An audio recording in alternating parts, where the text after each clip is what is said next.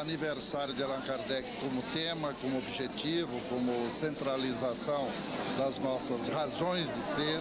O Espiritismo existe por causa de Kardec e, e o Chico vibra com Kardec, ele pensa em Kardec, ele sente Kardec. A gente viu quando o Chico entrou, quando se tocou o hino a Allan Kardec, como se emocionou.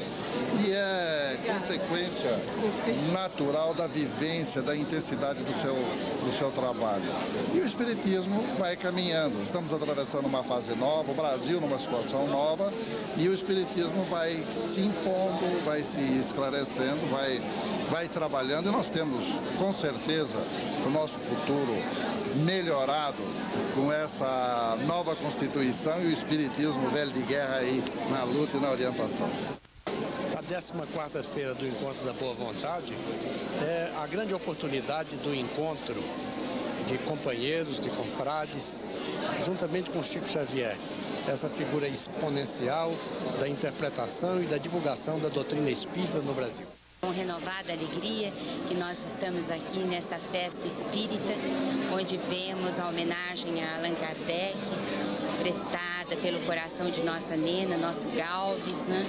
cercada de tantos companheiros, de boa vontade do Centro Espírita União. Venho trazer o meu abraço fraterno nesse momento de felicidade para todos nós, quando nosso querido Chico, reorganizando as suas forças físicas, pode estar conosco mais de perto, dando-nos esse incentivo tão grande para a espiritualidade superior, trazendo mensagens e nos estimulando ao trabalho, à realização espiritual.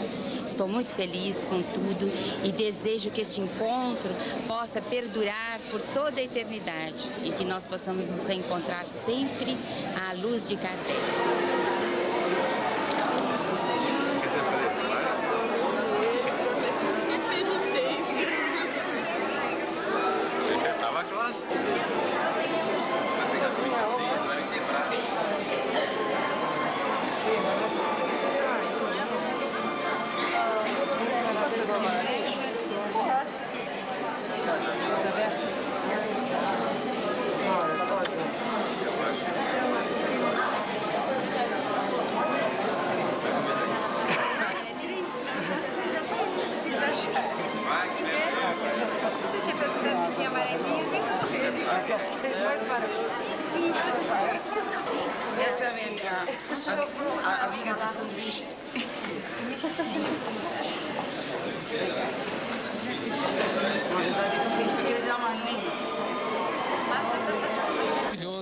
Nós todos nos reunimos em busca de algo que nos faz tanta falta e algo que é o nosso maior alimento, que é o alimento da alma, a oração. Como é bom o ser humano sair da casa à procura dessa paz, já que nós nos dedicamos 24 horas por dia muito à matéria, que perfume usamos, que carro bonito poderíamos ter, mas de repente o ser humano entra em contato consigo mesmo e percebe que estamos muito atrasados. E estas reuniões servem para que a gente possa adiantar um pouco mais as nossas missões e as nossas tarefas. Oportunidade no 14º encontro, nós temos o grande prazer de vermos a fraternidade envolvida através desse trabalho gigantesco dos irmãos do Centro Espírito União. E essa presença maravilhosa do nosso querido Chico Xavier, que sempre traz a sua mensagem através do amor, da união entre os homens. E para os nossos dias atuais, sentimos que a grande necessidade do homem é conseguir enxergar no seu semelhante aquele ser que, antes de mais nada, está a seu lado na jornada evolutiva do homem. E com isso, Chico, mais uma vez, através do exemplo, da sua perseverança, do seu trabalho, com a grande lição de humildade, de amor, faz com que cada um de nós apenas olhando, temos no todo a vontade de seguir o seu exemplo em busca dessa jornada e em busca da evolução do homem, que é o grande objetivo dentro desse mundo, dentro do planeta de provas e expiações que estamos. Relata no livro Há Dois Mil Anos que quando senador ele se postou ao lado de uma estrada onde passava Jesus. Mas quando ele quis falar com Jesus, a voz foi embargada ele não conseguia falar. Pois bem, nos tempos odiernos, nós observamos que o Espiritismo é Jesus voltando à Terra através de missionários como Kardec, que codificou a doutrina, e agora com Chico. É muito difícil falar sobre o Chico. Eu ali estava observando que as pessoas que se dirigem a ele muitas vezes não conseguem falar, choram de emoção. Isso eu observava diariamente em Uberaba, quando lá estudava medicina. Era comum. E eu, para falar sobre o Chico, também me emociono, a voz embarga, diante da minha pequenez, diante da sua grandiosidade espiritual. A voz embarga.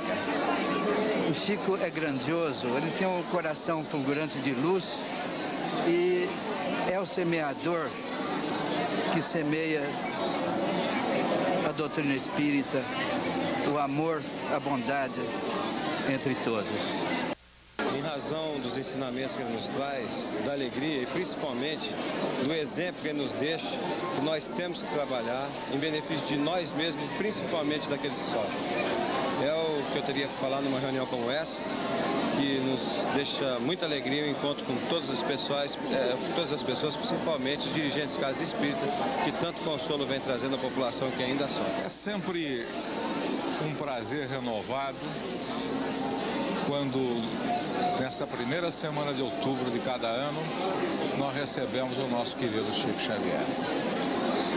E essa noite de hoje é excepcional para nós, porque o nosso Chico exatamente um ano sem vir a São Paulo, preso em Uberaba com seus problemas de saúde.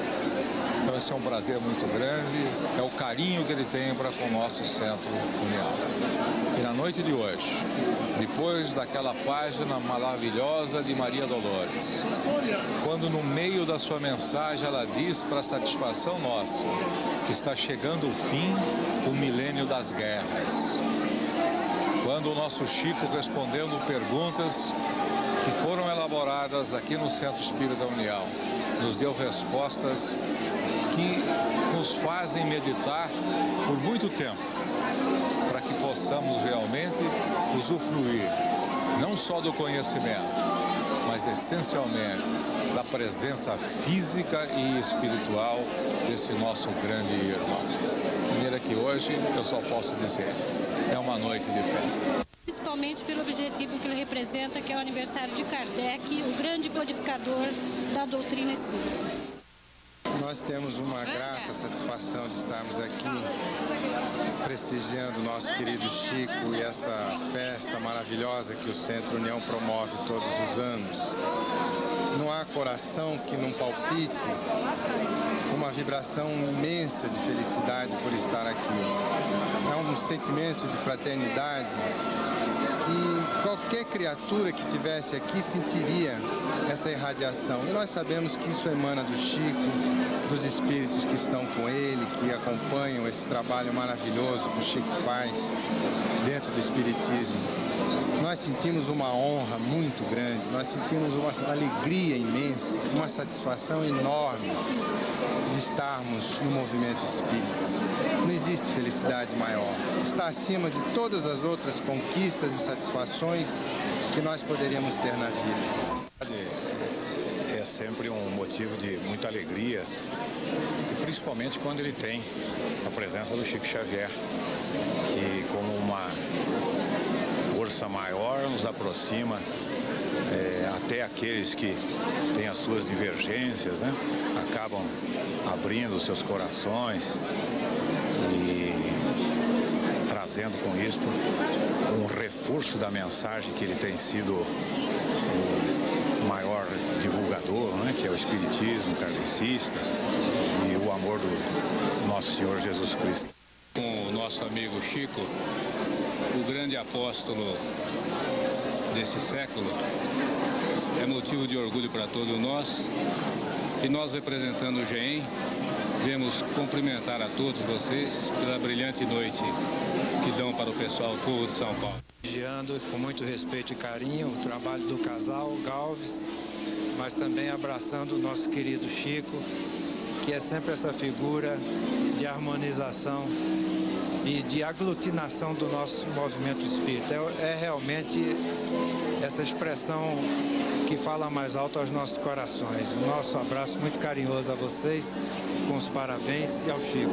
Feliz e eu agradeço a esta ocasião de aqui estar e quero dizer que nós estamos eh, representando a Associação Médico Espírita de São Paulo e trazemos em nome dela um grande abraço ao Grupo Espírita União e através do nosso Chico, todo o nosso carinho para vocês e para todos os que compõem esse grupo, especialmente Estamos o nosso presentes Chico. nessa noite com tantas pessoas aqui que eh, vieram a este encontro e com a presença do nosso irmão Francisco Cândido Xavier, que traz, como sempre, eh, mensagens eh, de esperança e de grande conforto para todos esses corações que vêm em busca de uma palavra de conforto para dar na grande jornada desta vida em busca eh, de caminhos, eh, em busca